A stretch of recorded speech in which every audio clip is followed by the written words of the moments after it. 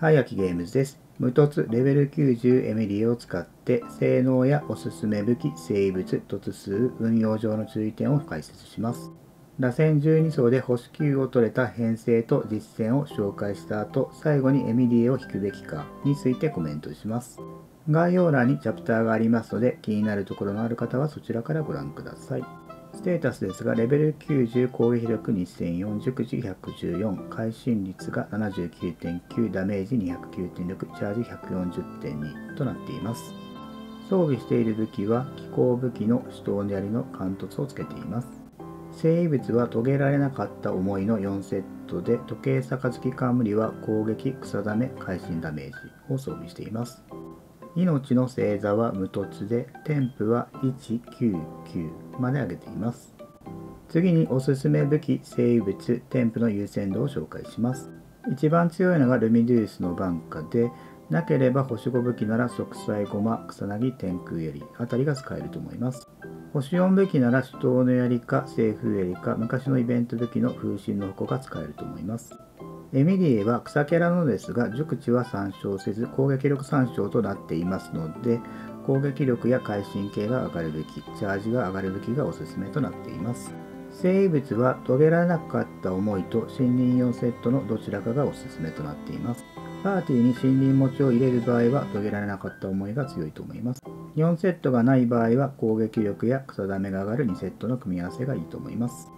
時計は攻撃もしくはチャージで、杯は草ダメ、冠は会心系となっています。チャージはパーティーに西風持ちがいる場合は130から150、いない場合は170から200まで上げるのが良いと思います。運用上の注意点として、スキルを置き直すとランクが下がってしまうため、できるだけ爆発をループさせたいためです。詳しくは元素スキルのところで説明します。添付の優先度は爆発スキルの順番で上げて通常は上げなくても大丈夫です。通常攻撃ですが、エミリーは控えから攻撃するタイプのサブアタッカーですので基本的に使いません。元素スキルについてですが、草元素ダメージを与えてからルミドゥースの瓶を出します。ルミドゥースの瓶は敵が近くにいると自動で草元素ダメージを与えてくれるのですが、効果時間が22秒に対してクールタイムが14秒と短いため永久に起き続けることができます。また、ルミデュースの瓶は近くに燃焼状態の敵がいるとランクが上がるという特徴があります。ルミデュースの瓶の近くに燃焼状態の敵がいると方向というものを2秒に1回生成して方向が2つ集まるとランクが2になって攻撃回数が2倍になってダメージも上がります。固有添付横を開放すると方向を2つ集めるためにルミリウスの瓶のランクには方向を消費して攻撃力600%分の草元素範囲ダメージを与えてくれます。3万6000ダメージぐらい出ているのが固有添付横による追加ダメージとなっています。このダメージは元素スキルダメージとみなされないと書いてありますので劇団4セットの効果は乗らないことから使えないということになります。この固有添付予行の追加ダメージが非常に高いので、できるだけランク2の状態を維持して方向を2つ集め続ける必要があります。元素スキルの説明で8秒間方向を集められない状態が続くとランクは1に戻ると書いてありますので定期的に炎元素を当てて燃焼を継続させるようなパーティー編成にする必要があります。もう一つ注意点があるのですが先に元素爆発の説明をします。元素爆発を使うと2.8秒の間上から草元素の弾が降ってきて爆発が終わるとルミデュースの瓶を設置します。単体の敵の場合は固有添付の3万6000ダメージの半分程度のダメージを3回与えてくれます。弾はたくさん降ってくるのですが敵が選ばれるのは0.7秒に1回だけなので単体の場合は3発となっています。敵が複数いる場合はそれぞれの敵に当たるという形になります。今は敵が3体いる状態で元素爆発を撃ちましたが2.8秒の間に合計9回ダメージを与えています。エミリエを使うにあたりかなり気をつけないといけない注意点がありますので説明します。元素スキルを置き直すとルミデュースの瓶がランク1からスタートすることになりますのでランクの2になるまで燃焼状態の敵の近くで4秒間待つ必要があります。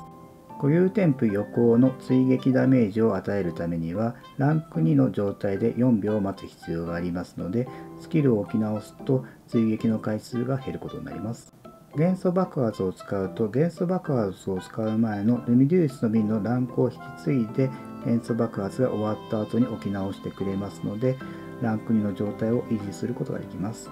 元素爆発が終わった後もランク2ですので4秒経って追加ダメージの3万6000が発生しているのが分かります。このため元素爆発はできるだけループさせたいので最初に元素チャージ効率はある程度必要というお話をしています。爆発が50族なのでチャージはいらないように思えますがエミリエは控えにいることがほとんどですのでチャージはある程度持っておいた方が良いと思います。西風槍にすれば爆発のループは簡単なのですが火力が若干落ちますので火力系の武器にサブステでチャージを盛るっていうのがいいのかなと思っています。次に固有添付清流についてですが燃焼状態の敵にエミリエが与えるダメージを攻撃力1000につきダメージ15%アップしてくれます。攻撃力2400の時に36%で最大になります。最後の固有添付漂う香りを集めてですがルミリウスの瓶がある時にチーム全員の燃焼ダメージの炎元素耐性がプラス85%されます。燃焼ダメージでアタッカーが知らないうちにやられてしまうっていうのがなくなりますのでかなり便利な固有添付となっています。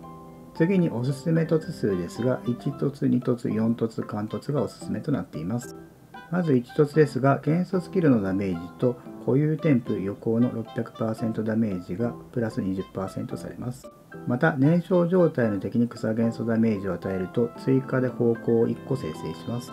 方向が2個で固有添付予行の追加ダメージが発生しますので追加ダメージの頻度がはるかに上がります。次に2凸ですが元素スキル元素爆発または予行の追加ダメージが敵に当たると草元素耐性が30%下がります。エミリーの火力が上がるのはもちろん一緒に草キャラを編成した場合そのキャラの火力も上がります。次に4凸ですが元素爆発の継続時間が2.8秒から4.8秒まで長くなりなおかつ敵がターゲットとして選ばれる時間が0.7秒から0.4秒に短くなります。継続時間だけでなく再ターゲットの時間が短くなっていますので単体を相手にした場合でも命中回数が増えるということになります。貫突効果ですが元素スキル元素爆発を発動すると5秒間強化状態になって通常銃撃が草元素ダメージに変わって攻撃力も大幅に上がります。また通常中撃を行うと方向が1つ生成されますので固有添付予行の追加ダメージの発生頻度が上がります。ただし方向4回獲得もしくは5秒経過で解除され12秒に1回しか強化状態になりませんので次元アタッカーのような運用となります。持ちべきルミデュースのバンカとの優先順位についてですが1凸2凸ルミデュースのバンカの順番になるのかなと思います。ルミデュースのバンカはかなりエメリに合った武器なのですがそれよりも1凸の固有添付ダメの発生頻度アップが強いと思います。また2凸の草耐性ダウンができるようになるとエミリエだけでなく他の草キャラと組んだ時にも強くなりますのでパーティー編成の幅が広がります。次に無凸エミリエを使って螺旋12層で星9を取れた編成を2つ紹介します。上が燃焼溶解利用セスリで下がモノパイロのシャンリンのところをエミリエへ変えた編成となっています。燃焼溶解量セスリはナヒーダ版で昔からあったのですがナヒーダを使うと燃焼ダメージで量セスリが死んでしまうためトーマが必須となっています。エミリーを採用すると炎元素耐性が上がって燃焼ダメージを無視できるようになりますのでトーマが必要だったところに3人を入れてパーティーとしての火力が上がります。ナヒーダをエミリエに変えるとリオセスリの元素熟知が下がるためリオセスリのダメージは減りますが代わりにエミリエのダメージが増えていますのでトータルではエミリエの方が火力が上がるという形になります。またアヒーダの場合は敵が入れ替わるウェーブ戦に弱いという欠点があったのですがエミリーはそれがありませんのでかなり使い勝手が良くなっています。なお妖怪ではなくなりますがリオセスリのところをスクロースやカズハにしたりクロリンダにしたりしても普通に螺旋で戦えるレベルになっています。下のモノパイロはベネットか3人が入っていたところをエミリエに変える運用となっています。召使いが一番強いですが他の炎アタッカーでも使える編成ですのでよかったら試してみてください。燃焼溶解利用セスリで12層1万の前半をやっていきます。エミリエ爆発、ベネット爆発、シャンディン爆発スキル、エミリエ爆発、リオセスリ爆発スキルの順番で使っています。最初にエミリエのスキルを置いているのは燃焼状態にしてから爆発を使いたいためです。次は遺跡守衛が離れた場所に出てルミデウスの瓶が届きませんので元素スキルを置いていきます。ルミデウスの瓶は基本的に爆発で置いていった方がいいのですが離れた場所に敵が出た場合は元素スキルを使うのもありだと思います。次の敵が近くに出てくる場合はルミデウスの瓶の攻撃が届きますのでランク2のままにしておきたいので元素爆発で敵の近くに置いていきます。攻撃が届く距離に敵が出ていますので元素スキルは使わないで元素爆発でルミデウスの瓶を設置しています敵の出てくる位置によって元素スキルと元素爆発を使い分けるのが難しいという方は武器を西風槍にしてもらえれば元素爆発だけでルミデウスの瓶を置き続けることができますので検討してみてください。次の場所も届かない場所なので元素スキルを使ってもいいのですが爆発が溜まりそうだったので爆発でルミデウスの瓶を置いています。何回かやっているとどの辺りで元素爆発がたまるか分かってきますのでそれに合わせた運用になっています。